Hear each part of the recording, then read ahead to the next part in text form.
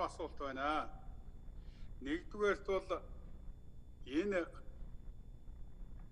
Монгол улс одоо асар их баялагтай, асар их одоо боломжтой нөөц боломж байгаа ийм одоо орн шүү дээ.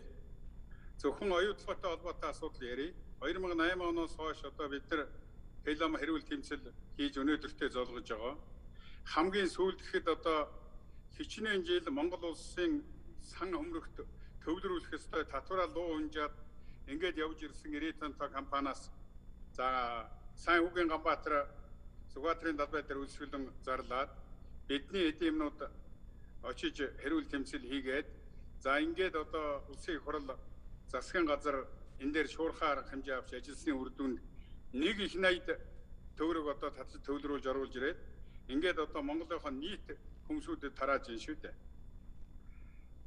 Эрдэнэ төлөвлөрөхэд 49%-ыг одоо улсын сан өмөргөөр лобрийн аргаар автсан байсныг эргүүлээд төрийн мэдэлд аваад тэгээд энэ эрдэнэ төлөвлөр жишээлх юм бол Монгол улсынхаа бүх аж ахуйн нэгжүүд айл өрхүүдийн а 7 сарын 1 хүртэлх одоо цахилгаан дулаан ус за бүр одоо хогны мөнгө хүртэл энэ төлбөрийг бүгдийг дааж байна шүү дээ. Тэгэхээр энэ ямар их одоо боломж болцоо байгааг бид үзэх ёстой юм аа. Энэ дээр одоо ямар одоо судалгаа хийвэ? Энд та нар юу хэлэх вэ?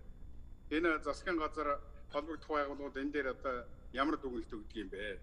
Дэлхийн бус улс орнууд бол одоо бид нар ингээд жижиг дунд үйлдвэрлэл хөгжүүлгээ өчнөө ярьж байгаа. Гэтэл энэ томоохон үйлдвэрүүд, томоохон одоо төсвүүдэд дагуулсан ханган нийлүүлэлтийн ийм одоо жижиг дунд үйлдвэрлэлийг хөгжүүлж ажлын байрыг нэмэгдүүлж ажиллаж байна шүү дээ. Энэ талаас нэг авч үзмээр ийм зүйл хэлэх гээд байна. Хоёрдугаарт бол ерөөсөө одоо ингээд салан баавга үлгэрээр энэ одоо сангууд эрүүл мэндийн даатгал энэ нийгмийн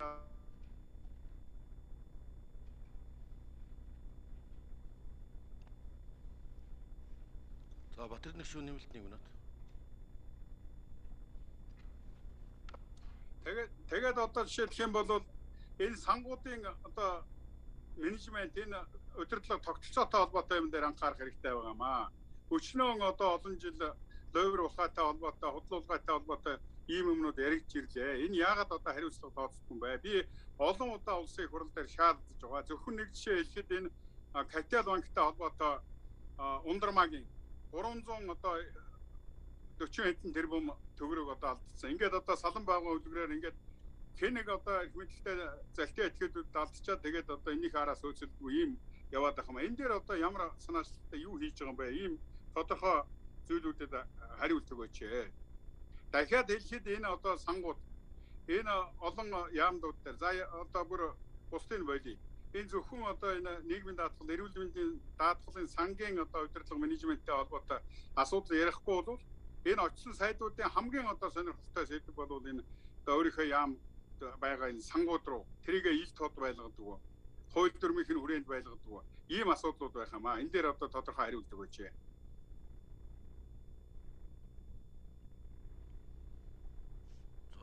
За, биш хариун заяа сайд.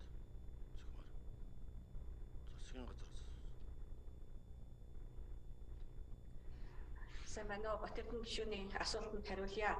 За, нэгдүгээр асуултын хувьд болоод Монгол Улсын засгийн газрын зүгээс ерөнхий сайдын захирамжаар одоо ажлын хэсгүүд байгуулагдсан. За уул уурхай яам марлайлаад байгалийн баялагын санг одоо байгуулах ажлыг эхлүүлж байна. За судалгааны ажлууд явагдаж байгаа. За мөн түншлэн зэрэгцээд хоримтлын нэгдсэн сан байгуулах ажлууд эхэлж байна. Ингэснээр байгалийн баялагийг одоо иргэдэд тэгш хүртээмжтэй хүртээхээс гадна байгалийн баялагийг илүү зөв зохистой одоо хөрөнгө оруулалтаар хөрөнгө оруулалт ажлуудыг хийх бүтээн байгуулалтуудыг одоо бий болгох тал дээр ажлуудаа хийгээд одоо хуулийн бичлэлт судалгааны ажлууд маань одоо хийгдээд явж байна. За хөтөлбөр нийгмийн хамгааллын яамны хувьд бол нийгмийн даатгалын багц хууль маань бэлэн болсон байгаа. Ирэх 7 хоногоос бид нийгмийн хилэлцүүлгүүдийг эхлүүлнэ. Түүний дараа засгийн газарт өргөн бариад засгийн газраар хилэлцээд улсын их хурлд өргөн барих ажлыг эхлүүлнэ а энэ нийгмийн даатгалын багц хууль нь бол өөрөө олон давхаргад тогтолцоонд шилжин. За суур тогтолцоо одоогийн байгаа тогтолцоо мөн дээрэс нь хувийн нэмэлт тэтгэврийн тогтолцоо гэсэн байдлаар олон давхаргад шилжээд за энэ нь бол өөрөө бас сангийн менежмент за сангийн чөлөөт үлдэгдлийн хөрөнгө оруулалтын одоо асуудлуудыг оруулж байгаа. За нийгмийн даатгалын багц хууль дотор ч гэсэн сангийн одоо нийгмийн даатгалын тогтолцоо удирдлага хяналтын механизмуудыг сайжруулад за мөн түншлэг улсын их хурлын даргын чиглэл болгосны дагуу нийгмийн даатгалын үндэсний зөвлөлийн гишүүдийг нээлттэй одоо сонгож шалгаруулах сонсгол хийх гэх мэтчлэн одоо хуулийн хуулийн залтуудыг бол оруулж өгч байна. За нөгөө талаас Капитал банкны талаар бас сая та асуулаа. Капитал банкны хувьд 2010 капитал банк одоо татан буугснаас хойш банкны одоо эрх хөлийн авагчтай одоо бид удаа дараагийн одоо уулзалтуудыг хийж 33 удаагийн одоо уулзалт хийсэн байна. 28 албан бичиг хөргүүлсэн байна. 40 одоо цахим шуудаг хөргүүлсэн байна. Гэх мэтчлэн бид бол одоо ажилласаар л байна. Нэг асуудал бол шүүхийн шийдвэр ердөөс огтос гараагүй байгаа. Шүүхийн процесс нь бол хിവэрэ явагдаж байгаа учраас энд бол тодорхой хэмжээний хүндрэл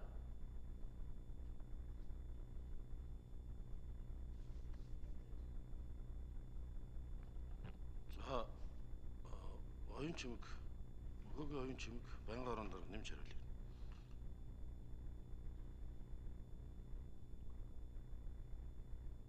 Сая Батэрдэн гишүүн жоохон зөрүүтэй хэлжлээ энэ хүмүүс өсөглөн зарлснаар ийм юм шийдэгдсэн биш.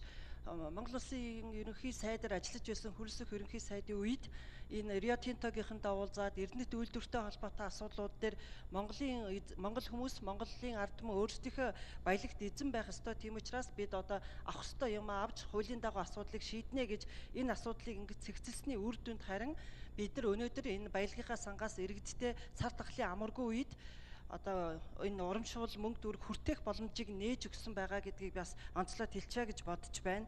А тэгээ одоо бид нар тэр Капитал банктай холбоотой асуудал дээр ямар ч байсан Монгол банкны зүгээс нөгөө тусгай ажлын хэсэг гараад энэ бол нэлээд сайн ажиллаж байгаа юм байлээ тодорхой хэмжээгээр харин сая нарийн зай сайдын хэлдгээр шүүхтэр энэ асуудлуудаа шүүхийн шийдвэр бол одоогор гараагүй байгаа.